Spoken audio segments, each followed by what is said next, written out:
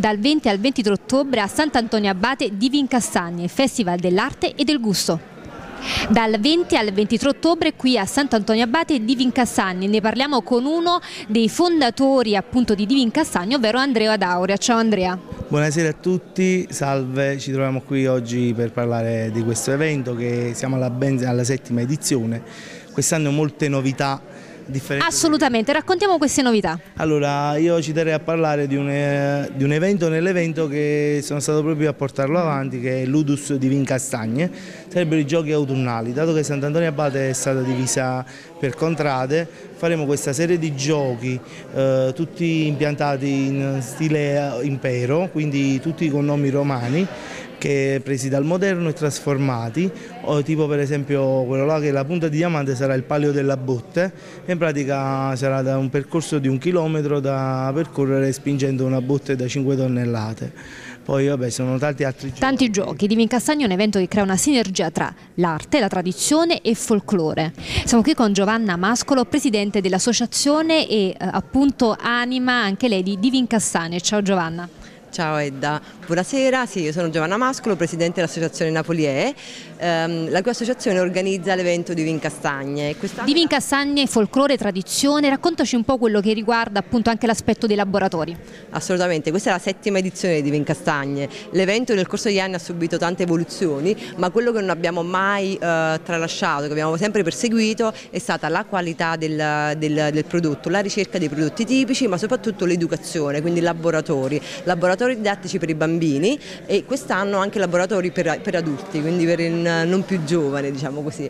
Um, in questo modo cerchiamo di trasferire tutti quelli che sono i saperi del, del, nostro territorio a quelle che sono le generazioni future, quindi attraverso l'educazione.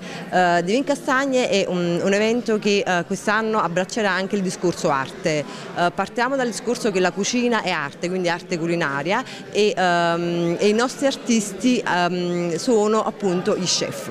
Avremo circa 50 chef quest'anno, tra cui chef stellati e chef diciamo, di, una, um, di, alcune trasmissioni televisive. Note anche perché adesso sono tantissime le trasmissioni dedicate alla gastronomia. Assolutamente. Qui alla mia destra c'è Felipe Tracò, un grandissimo artista, anche lui presente qui per Divin Castagne. Buonasera. Buonasera a lei. Eh, praticamente qua di Vin Castagne abbiamo portato una nuova apertura quest'anno con un concorso per artisti, un'estemporanea che praticamente comporta ci saranno diversi artisti che dipingeranno dal vivo per tutti i quattro giorni del festival e in più nel mio caso specifico sto realizzando un intervento di riqualificazione del territorio tramite, diciamo, sto ridipingendo la facciata principale, in principal modo il portone della chiesa di Sant'Antonio Abate, tramite una cooperazione che abbiamo fatto tra Divin Castagni e appunto il parroco.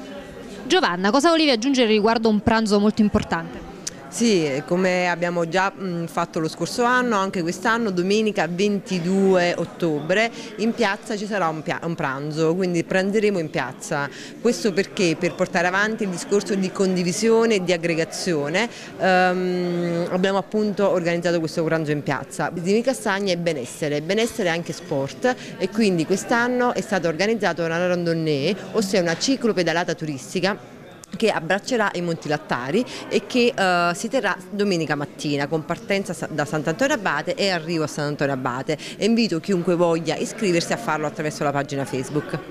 Siamo qui con il sindaco di Sant'Antonio Abate, Antonio Varone. Parliamo di questo evento così importante di Vincassagne che valorizza l'enogastronomia di Sant'Antonio, ma non solo, arte, tradizione, folklore e tanto altro.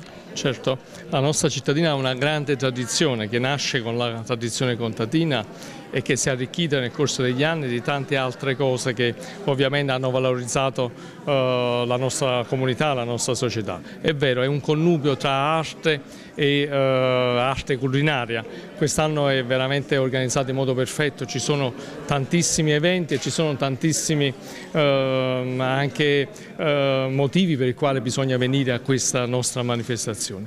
Devo ringraziare e abbracciare in modo forte gli organizzatori, l'Associazione Napoli E, la, la Carmine Danielo perché veramente hanno dato tutto e eh, danno tutto perché queste manifestazioni le riteniamo cosa importante per la nostra comunità ma soprattutto per la gente insieme. È una festa per le famiglie, una festa per i bambini, una festa per i giovani, una festa per tutti, quindi venite. Quindi vi aspettiamo. Vi aspettiamo intensamente.